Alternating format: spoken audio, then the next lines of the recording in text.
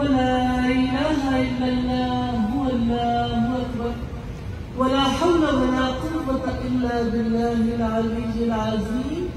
اللهم صل على محمد وعلى آل محمد كما صليت على إبراهيم وعلى آل إبراهيم. إنك حميد مجيد.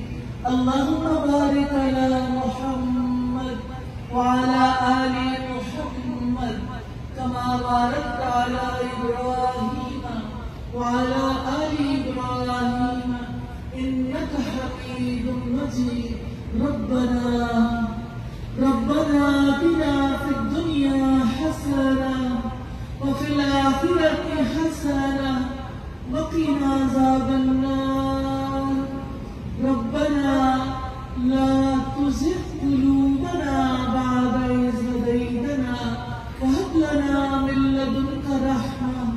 إنك أنت الوهاب. رب اغفر وارحم وأنت خير الراحمين.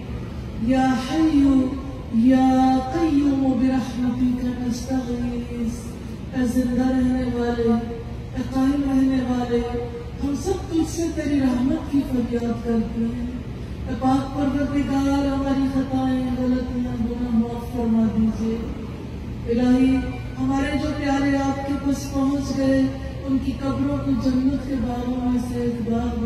بنا الہی ہمیں اپنی نسلوں کی بہترین انداز میں تربیت کرنے کی توفیق عطا فرمائیے الہی جو داریان اسلام اس سرزمین پر آئے ہیں پاک پروردگار، ہمیں ان کی عزت و احترام سے الہی ان کی کاوشوں کو اور الہی جو کچھ وہ پیغام دینا چاہتے ہیں، الہی بھرپور دلی توجہ کے ساتھ انہیں سننے اس کو سمجھنے اس پر عمل کرنے کی توفیق عطا فرمائیے اور الہی ان کا اکرام کرنے کی ہمیں توفیق عطا فرما دیجیے یا ارحم الراحمین جتنے ہاتھ اٹھے ہیں دعا کے لیے الہی، سب کے دلوں میں دعائیں ہیں، تمنائیں ہیں۔ آپ جانتے ہیں میں کسی کے دل کا حال نہیں جانتی الہی، کچھ بیمار ہیں۔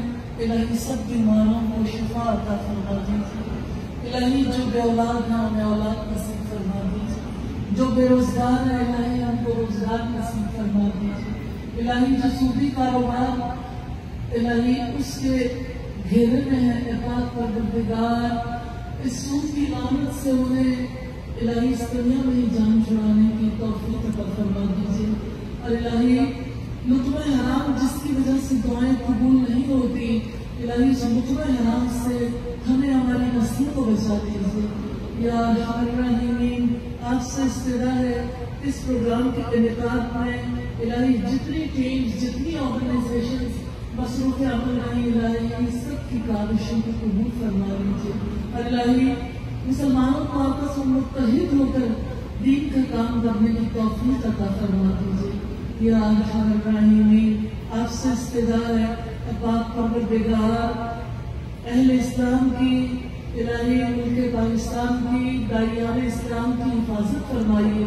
اور ان کے اعمال کو قبول فرمائیے اور انہیں برکتیں عطا فرمائیے اور الہی لوگوں کے دلوں کو ان کا مشتاق بنا دیجیے اور الہی اہل کفر کی جتنی سازشیں ہیں، اور الہی ان کا جتنا پروپیگنڈا ہے، الہی الہی اس کو دھوئیں کی طرح اڑا دیجیے الہی اسے خاک بنا دیجیے یا ارحم الراحمین آپ سے استدار ہے، جو دعائیں ہم نے مانگی، جو مانگنے سے رہ گئی الہی سب دعائیں قبول فرما وصلى الله تعالى على خير خلقه محمد وآله وأصحابه وأهل بيته أجمعين.